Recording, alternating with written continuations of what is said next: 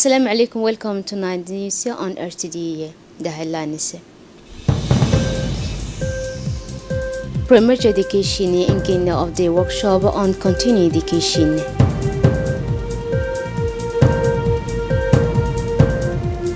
The United States, Russia, no evidence of coalition between Russia and Trump campaign team.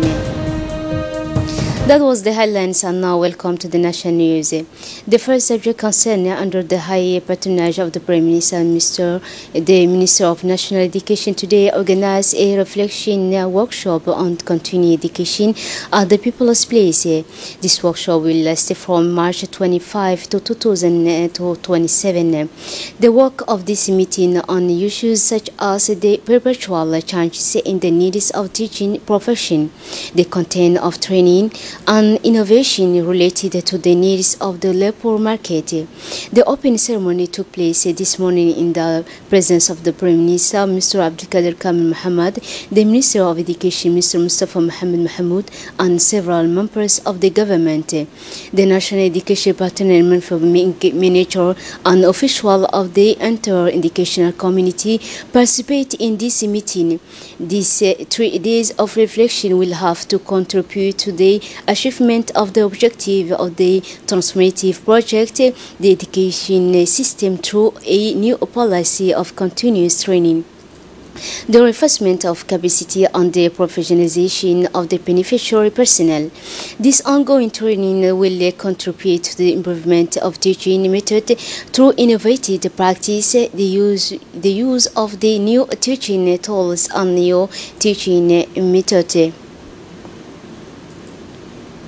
The Minister of Education, Mr. Mustafa Mohammed Mahmoud, has emphasized the interest of this workshop of reflection, which is intended to define the contours of the continuing education as well as uh, in its content, aim, and objective, but also in its statute and implementation strategy. For his part, the Prime Minister Mr. Abdul Qadir Kamil Muhammad emphasized the importance given by the President of the Republic, His Excellency Muhammad Gele, to human resources, which are the first national wealth to value. Hence, his call to reflect deeply the written continuing education, which is, according to him, a process of learning allowing the teacher to acquire knowledge and skills to constantly develop his professional skills to practice with more the mission interest to it. The Prime Minister Abdulkader Kam Mohammed received this morning the new ambassador of the Democratic and Federal Republic of Ethiopia, Mr. Abdulaziz Mohammed Ibrahim, accompanied by his collaborator, Mr. Mekibe Menkesha. Speaking on this occasion, Ambassador Abdulaziz Mohammed Ibrahim thanked the Djiboutian authorities and the Prime Minister in particular for their welcome and availability. The Ethiopian diplomat also said that the two friendly countries enjoy a very important bilateral and multifaceted relationship as well as excellent economic integration. He also expressed his willingness to increase the bilateral relationship of the sisters to brother country and consolidate it further in all areas. For his part, Prime Minister Abdul Qadir Kam Mohammed did not fail to point out the excellent the excellent relationship of development uh, cooperation uh, between the two friendly countries and their economic integration. He assured the Ethiopian diplomat of his unwavering support and willingness to extend bilateral cooperation to promote a relationship between the two countries, brother and friend. The minister concluded the interview with the diplomat with the welcome, which by uh, reiterating his assurance and support in carrying out his mission. It was then the turn of the Speaker of the National Assembly, Muhammad Ali Hamid, to receive the new ambassador of the Federal and Democratic Republic of Ethiopia, Abdulaziz Muhammad Ibrahim.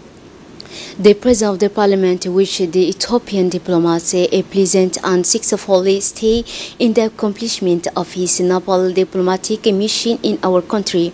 This meeting was an opportunity for the two public figures to review the common story of the two brother people.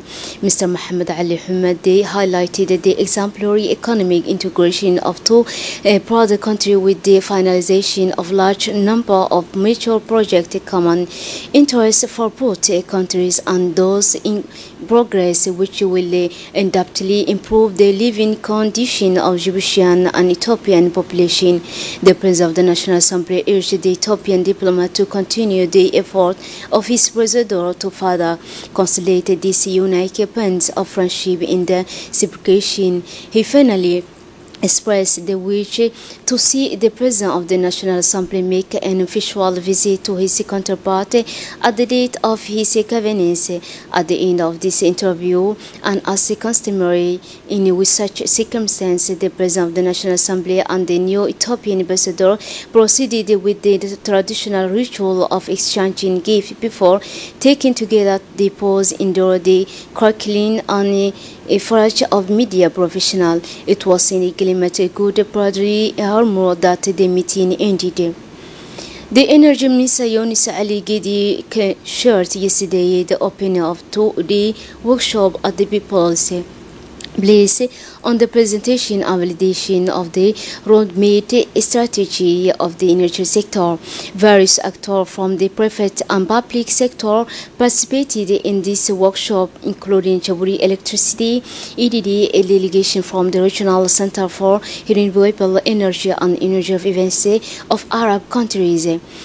The workshop will continue with the program presentation, including the RC technical director and the presentation of EDD. The later was based on four uh, activities, namely production, transport, distribution, and one list on the computer department of EDD. At the end of this first workshop they came to discussion of the different participants to discuss the question asked during the intervention.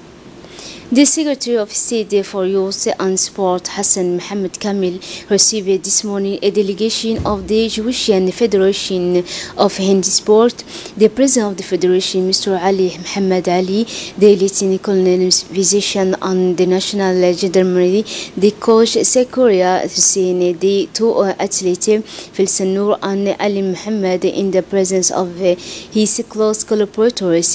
Throughout the delegation participated in the 15th edition of the 2019 Special Olympic Summer Game that took place in Abu Dhabi from March 14 to 21 competition in which our country won a medal. Indeed, Filsan Noor won a silver medal and Ali Muhammad won a bronze medal.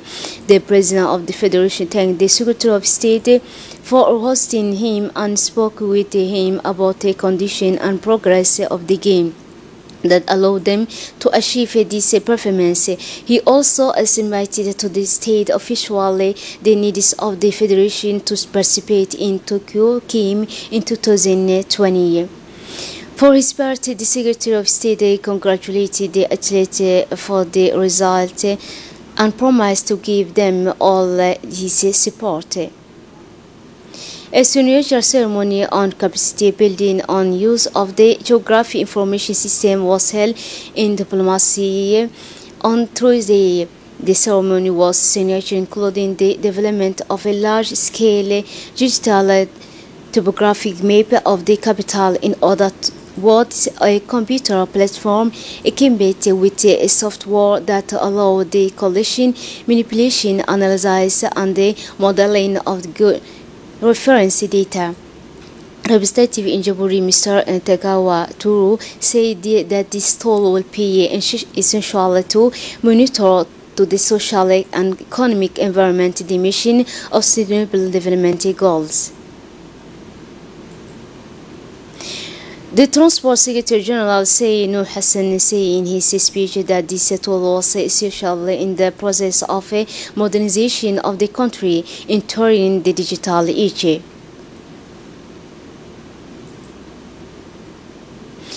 On the morning of Monday, March 25, 2019, at 9 p.m., Colonel Sekou Hassan Aden, Chief of Staff of the National Gendarmerie, received at the International School of Advanced Judicial Policy Practice a significant delegation led by Adam Kulach, the Ambassador of European Union, and including ambassadors from friendly countries, namely Germany, Belgium, Spain, Finland, and Poland.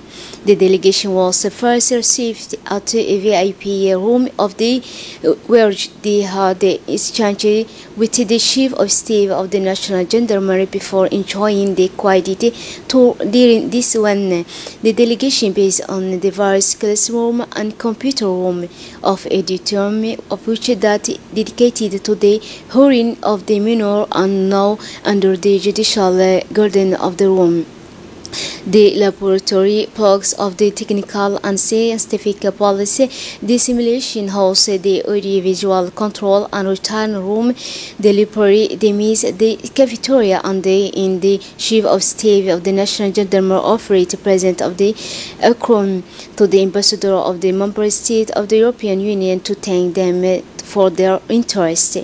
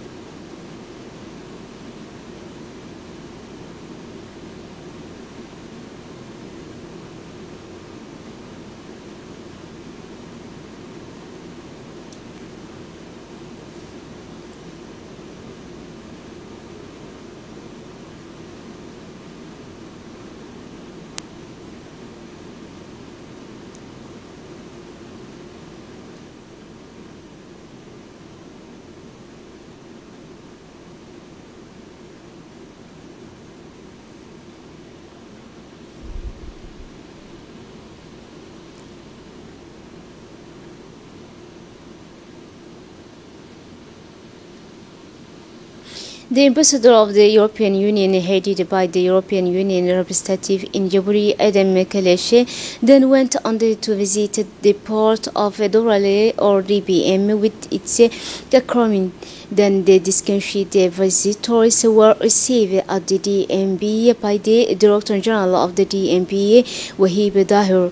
Meeting took place in the conference room of the DMB. It focused on the performance of this new port platform, the additional capacity that were uh, deployed this year by DPM to best meet the development neighboring countries at the foreign front. The delegation to see a version the development accomplished in terms of port and free zone to see also the investment possibility, potential and opportunities offered by the country with a view to invest in, in various projects in Djibouti.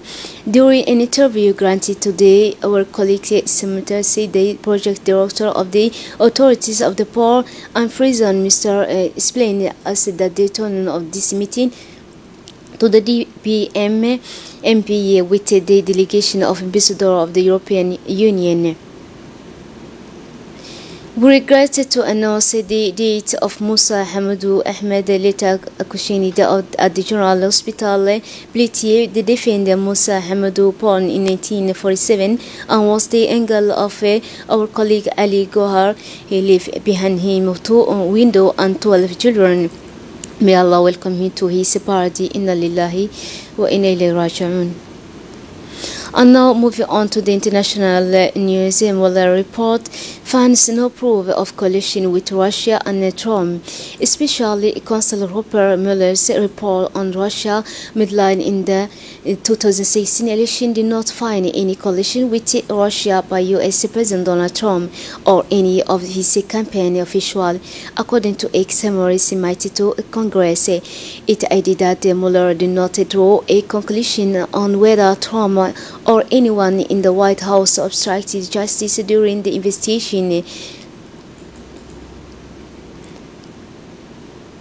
A Congress leader on the media Sunday after Mueller led a report Friday, two years investigation concluded that no one in Trump's campaign aspirated with the Russian government according to the summary finding. However, the report did not exploit from Trump a possible obstruction of justice. New Zealand Prime Minister Jacinda Ardern on Monday ordered an independent judicial inquiry into Christchurch mosque attacks, asking whether police and intelligence services could have prevented the March 15 attack. New Zealand said by agency have faced criticism in the wake of the attack for constructing were all Muslim and the massacre was alleged believe that Muslims were invited in the Western Comprehensive and will report in a timely manner. That's it for tonight's news. Thanks for watching and have a good night.